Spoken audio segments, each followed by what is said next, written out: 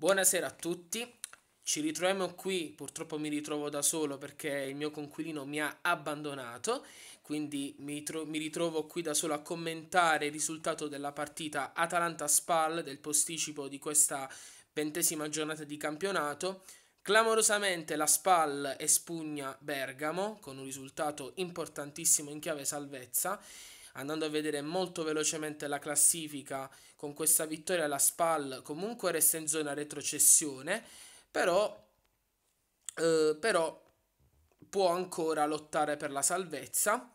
Infatti a meno 1, anzi a più 1 sta il Lecce e anche la Sampdoria che ora, ora si vede anche costretta a lottare anche eh, costretta a lottare per la salvezza. Invece vediamo che questo passo falso dell'Atalanta la fa sprofondare, non proprio sprofondare, la fa cadere in quinta posizione, quindi in Europa League, e questo è un risultato fondamentale, un, risultato di vitale importanza anche per il Milan. Io sono milanista, quindi il Milan con la, vitto- con la vittoria, ricordiamo 3 a 2 con l'Udinese, si è riavvicinata alla zona Europa ovviamente anche il pareggio del Cagliari eh, ha beneficiato anche del pareggio del Cagliari col Brescia.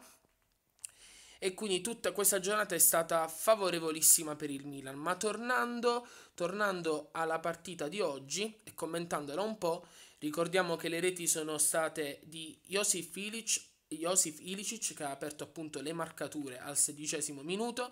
Nel secondo tempo la Spal l'ha ribaltata con Petagna e con Valuti, Mattia Valuti. Ragazzi, commentando i gol, diciamo che il gol più bello a mio parere è stato quello di Mattia Valuti perché eh, ovviamente si è posizionato bene alle spalle dei, eh, dei difensori e ha tirato, ha liberato il tiro fuori aria Uh, il portiere Sportiello, il portiere dell'Atalanta, stasera ha giocato Sportiello, stranamente, Gollini in panchina, non poteva fare nulla su questo tiro. E anche il gol di Petagna è stato molto bello dopo che nel primo tempo ricordiamo che ha preso un clamoroso palo, ha colpito di testa ma è stato sfortunato, ha preso palo e nel primo tempo dopo il gol di Ilicic ricordiamo anche che c'è stato un altro palo uh, ad opera di Duvan Zapata, che comunque ha fornito l'assist per il gol di Ilicic.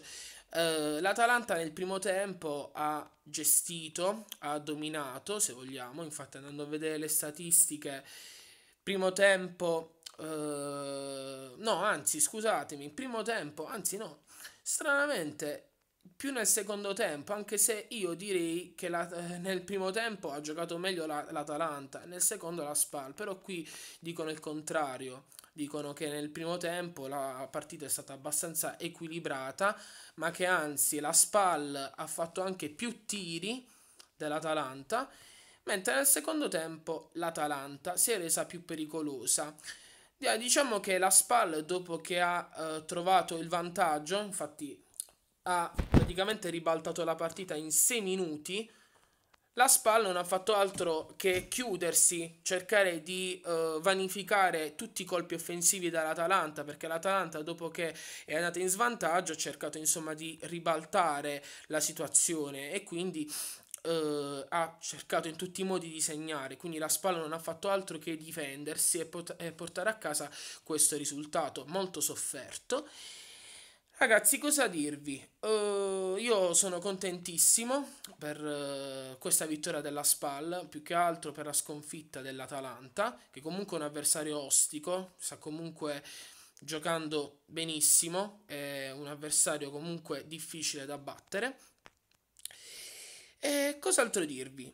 Mm, le statistiche ve le ho fatte vedere, andiamo a vedere velocemente le formazioni, non ci sono stati grandi cambi eh, nelle formazioni, se non soltanto un giocatore titolare che è stato anche l'artefice del, del, dell'assist, eh, di, l'assist a Mattia Valoti, invece, infatti sto parlando di lui, di Dabo, che è uno dei neoacquisti eh, di questo calciomercato ed è stato subito decisivo dopo aver dopo aver eh, disputato un'ottima partita in Coppa Italia, anche se la Spal è uscita sconfitta, contro il Milan, Dabo oggi è stato schierato titolare e ha fornito l'assist vincente.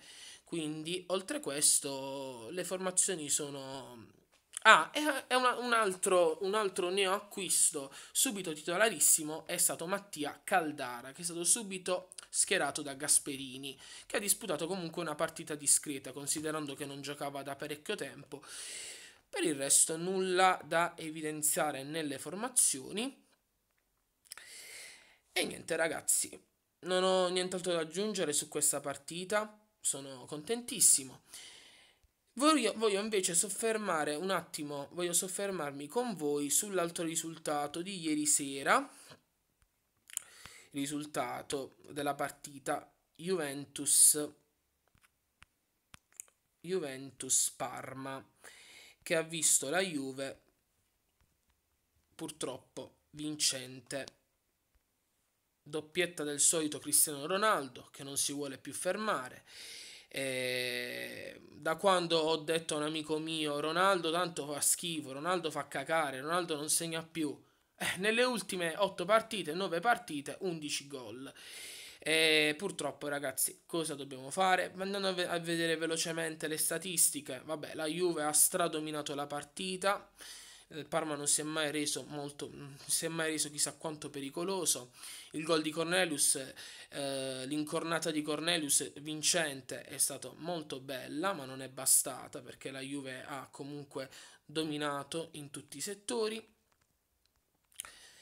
Vendendo velocemente le formazioni, Higuain è rimasto in panchina, anche se poi nel secondo tempo è entrato. Ramsey trequartista, boh, non si può proprio vedere, non lo so perché hanno, l'hanno schierato trequartista. Per, per la formazione del Parma non noto nulla di nuovo. Eh, Kuluseschi, il prossimo acquisto juventino, eh, non ha brillato in questa partita, Vabbè, sicuramente perché non voleva fare un dispetto alla Juve, infatti io già lo sapevo che non avrebbe fatto un granché. Ragazzi, che dirvi, io la partita non l'ho vista, quindi non, più di tanto non saprei cosa dire. Andando a vedere velocemente le statistiche, 60% fa- di possesso palla a favore della Juve contro il 40% del Parma, tiri ovviamente molto superiori a quelli del Parma. Niente ragazzi, volevo condividere con voi questo risultato. Andiamo a vedere velocemente la classifica. Ovviamente con questa vittoria la Juve si porta a più 4 sull'Inter che ahimè ha pareggiato con il Lecce, passo falsissimo di Antonio Conte. Invece per gli uomini, per appunto il Lecce, è un risultato fondamentale perché si distacca anche se di un, di un solo punto dalla zona retrocessione. E niente, la Lazio ovviamente eh, invece con la tripletta di immobile vola al terzo posto magari con la sconfitta appunto no sconfitta dell'Atalanta sì sì sì un, un po' si allontana. La Roma eh, ricordiamo anche il risultato della Roma di ieri col Genoa vince tranquillamente 3 a 1 e quindi consolida il suo quarto posto al momento. Insomma, ragazzi, sto notando che quest'anno il campionato è molto più interessante perché ci sono squadre che comunque se la stanno giocando eh, per la zona, zona Champions, zona Europa League barra Champions. Stanno tutte lì, eh? cioè tutte nei 5 punti di differenza. E niente, ragazzi, questa settimana non ci sono grandi partite quindi dovremo attendere la ventunesima giornata che si aprirà con la partita Brescia-Milan di venerdì 24.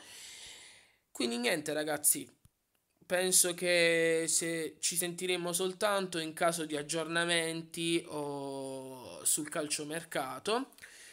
Eh, noi ovviamente eh, registreremo dei video, io e il mio collega registreremo dei video soltanto nel momento in cui ci saranno delle certezze perché non, non vogliamo insomma trattare, parlare di possibili acquisti perché um, acquisti che magari poi non si vanno neanche a concretizzare. Si parla tanto di Eriksen, di un possibile arrivo di Eriksen all'Inter, questo il, sarebbe il colpaccio forse con cui si, chiede, si chiuderebbe il calciomercato dell'Inter. Per il Milan non mi sono ben informato, ci sono un po' di nomi, avevo letto, avevo letto prima che si sta cercando un sostituto, uh, un terzino sinistro che vada a sostituire Rodriguez eh, si era fatto il nome di un giocatore, adesso non mi sto ricordando, ma non penso che eh, per il Milan ci saranno eh, degli, degli ulteriori innesti, insomma.